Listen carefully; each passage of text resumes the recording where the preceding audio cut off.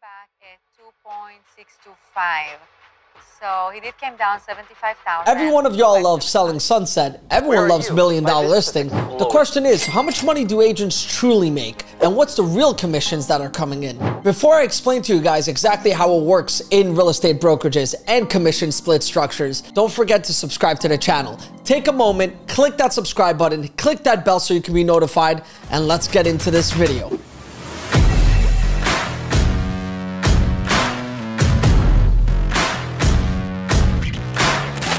Now, what's famous on a lot of these shows, you're seeing a lot of people going out, shaking each other's hands, deal closes, $10 million sales price, $600,000 commission. Boom, let's party.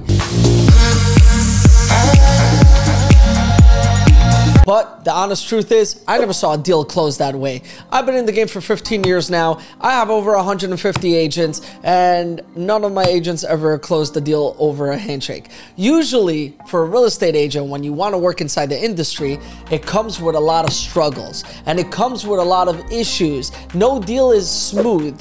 But some deals are smoother than others because no two deals are created equally if you catch my drift. So before we get into commissions, let me give you guys a little bit of an idea of how deals actually work. A lot of times what you're watching is people representing houses or representing buyers. On the main portion of all these TV shows, people are representing the sellers, meaning they are selling agents and they have exclusive agreements on the properties. Now, is every property on every TV show an exclusive and do they all sell? The honest truth is, no, a lot of these properties don't sell. A lot of these properties are pretty much property porn if you take it for an idea. And in the end of the day, they sit on the market and they're also not priced as well.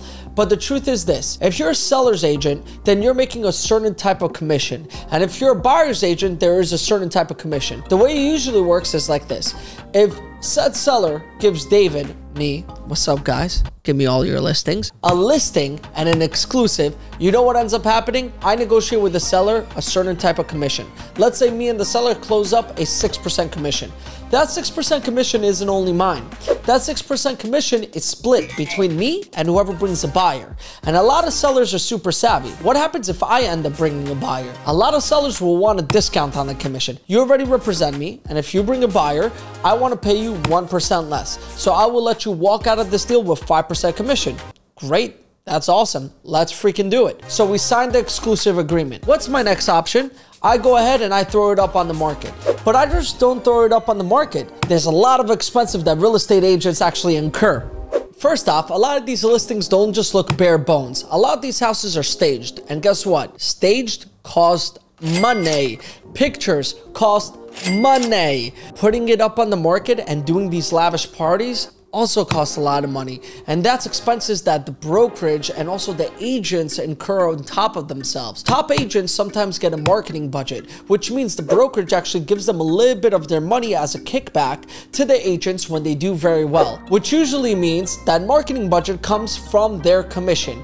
Meaning if an agent let's say is on a 70-30 split with a brokerage and it's a type agent that brokerage might offer that agent a 1 or 2% marketing budget based upon their GCI their gross commission income. Meaning, hey, you made a million dollars. This year, I'm gonna give you a 10,000 or $20,000 marketing budget. But marketing can over exceed that. For example, you want to go ahead and stage the house. Now, staging this, these massive 5, 10, 20,000 square foot homes can cost 20, 30, 50, $100,000. And the way these staging companies work is in many different ways. They charge you based upon how long the furniture will be in the place, if it ever needs to be moved, if you want to paint some walls, and also the type of furniture that you get and the size of the house, apartment, condo, and so forth. Guys, before we continue with the video, take a moment. If you can subscribe to the channel, hit the bell button, but also, hey, add me on Instagram and join the Closer Gang group.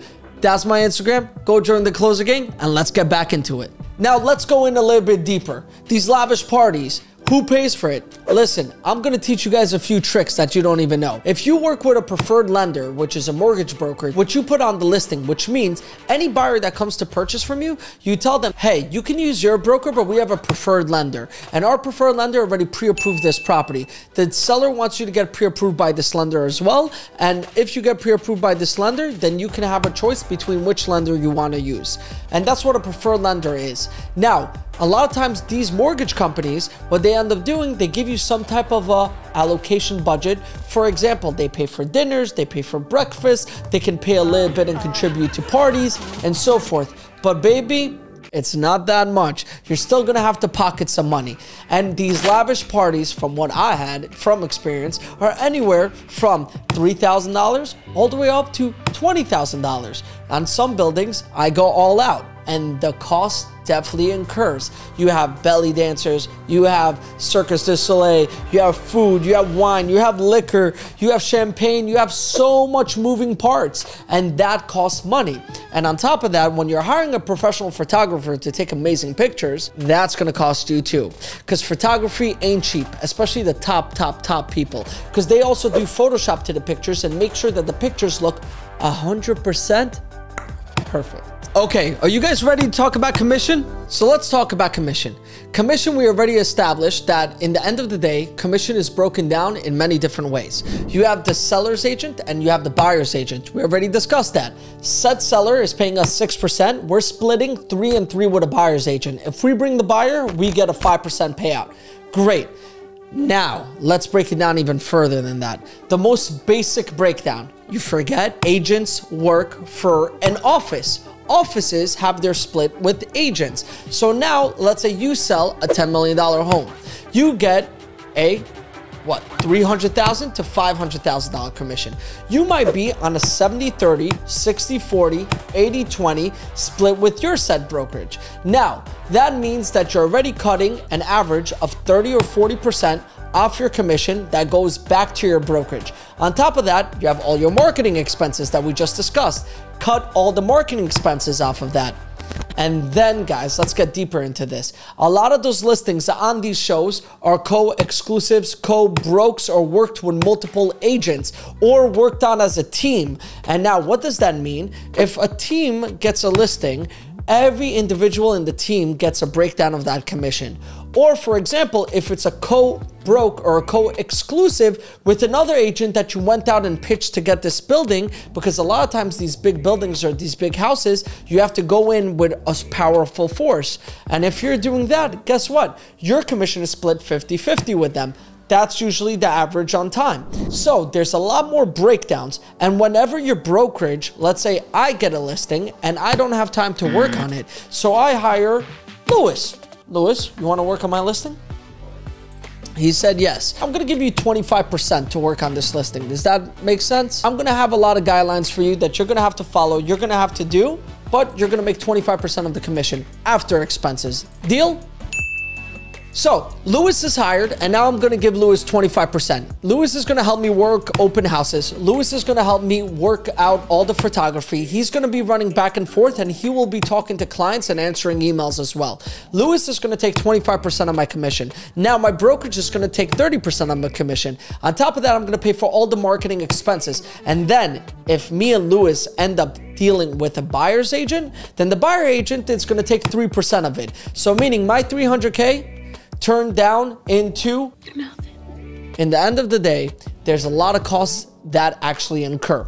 So, is there good money in real estate? Of course there's good money in real estate. If I walk away with on a listing like that with $150,000 to $160,000 or $130,000. That's still more than people make in a year. And also as agents, we don't just work on one listing, we work on multiples. It's not about closing one deal, it's how many deals can we close annually. That's always our goal. It's still amazing money, but it's never as cut and dry as just like, oh, this is the commission and there's no other splits. And by the way, guys, you're forgetting the biggest thing of it all. In the end of the year, there's one thing that you always have to pay attention to. What's that? Taxes. We always have to pay attention to taxes. That's unavoidable in any company, in any event, anytime you work for someone, you're always going to have some type of taxes to pay. And one tip that I'll give you as a real estate agent or any of you guys looking to pursue a real estate agent career is never count the money monthly. Always count it annually because monthly you might have some months you make zero dollars and you might have some months where you make a hundred, two hundred, or three hundred thousand dollars by closing massive deals. With that in mind, don't spend all your money. Always budget for taxes. Remember the third and third and third rule. That's my favorite rule. It's very simple and it's dumbed down. You take a third of your money, you put it away for taxes. You take a third of your money, you live off that money. And then you take the other third of your money and you invest that money or you save that money because that's going to create you passive income. Deals aren't easy to make, but deals are done all the time. Every day we're closing deals and every day we're getting things done. So understand this. Very simple. You can close a lot of deals and you can do great. It will take a lot of time and it's going to be a lot harder than a handshake. It's not about how you dress, even though you do want to dress to impress, but it's more about how you work, the knowledge you bring, and the consistency and dedication you put in. There's a lot of work that goes into actually making this type of money.